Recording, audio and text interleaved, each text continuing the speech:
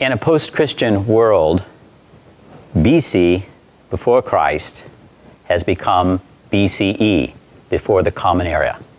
And AD, in the year of our Lord, has become CE, Common Era.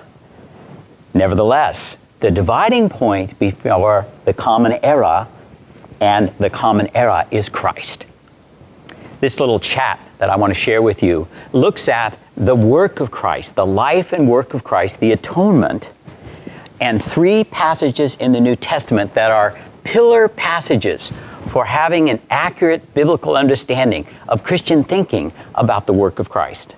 I'm Dr. Rick Durst, and I teach Christian theology at Golden Gate Baptist Theological Seminary. And I don't think anybody should think that they hold Christian truth without having biblical passages to back it up. And here are three. In the Gospel of Mark, chapter 10, verse 45, Jesus said, For even the Son of Man, Jesus' favorite title for himself, for even the Son of Man did not come to be served, but to serve and give his life as a ransom for many. The plan of God in Christ was that Christ would give his life for others, that he would give his life as a ransom to set free. He would come as a Goel, as a redeemer. In the Old Testament, there's this idea that when people get into a financial or personal jam, they need somebody to rescue them. And it would usually be a kinsman who would come for redemption.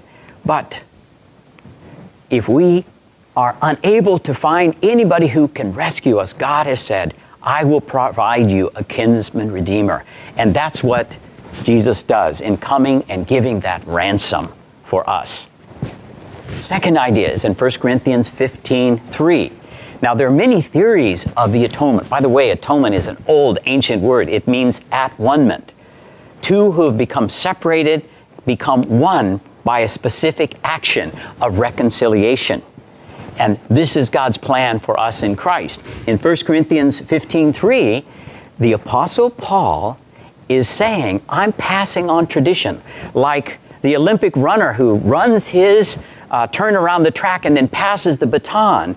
Paul is passing the Christological baton to us uh, and explaining what he received, what became transformative to him, and he wants to pass it on to us so it will be the same way. Now, 1 Corinthians uh, 15 is a well known passage because it talks about Christ's resurrection and ours and how they're connected. But in verse 3, it says this For what I received, I passed on to you as of first importance. I love that phrase, as of first importance, that Christ died for our sins according to the Scriptures. This was not a last minute plan. This was prophesied. Isaiah 53 Psalm 22 and many other passages says that God will send one who will suffer for us. And Paul's saying, it's happened. He's come. He died for our sins. So the economic meaning of the atonement is Christ died for our sins. So that the guilt, the alienation that has come into my life with reference to God is taken away. There's nothing that separates me from God anymore through faith in Christ. The third pillar passage is Hebrews chapter 9.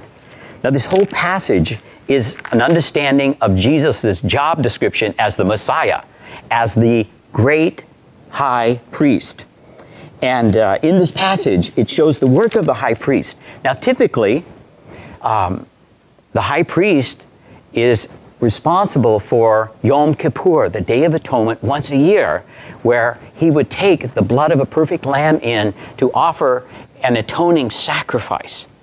But this great high priest is different because he does not bring the blood of a lamb. He's the lamb, the lamb of God who takes away the sins of the world. Uh, John described him, but Hebrews picks it up too. Verse 11, Hebrews chapter 9, verse 11. When Christ came as a high priest of the good things that are already here, he came uh, he went through the greater and more perfect tabernacle that is not man made, that is to say, not a part of this creation. He did not enter by means of the blood of goats and calves. He entered the most holy place once for all by his own blood. Once for all. it's not necessary to have an annual sacrifice anymore. He's done it once for all, having obtained eternal redemption, redemption that lasts.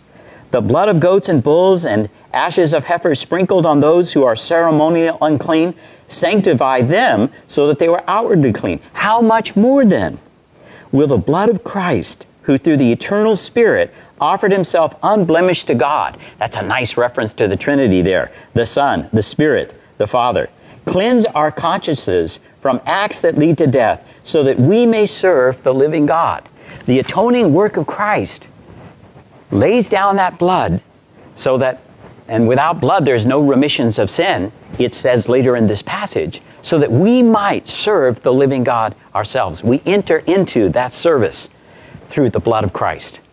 These are three pillar passages to understanding God's perspective on what He was doing in the world by becoming a man and dying on the cross and being raised from the dead to give newness of life to us. Thanks so much for watching. I hope you'll watch some of the other videos as well.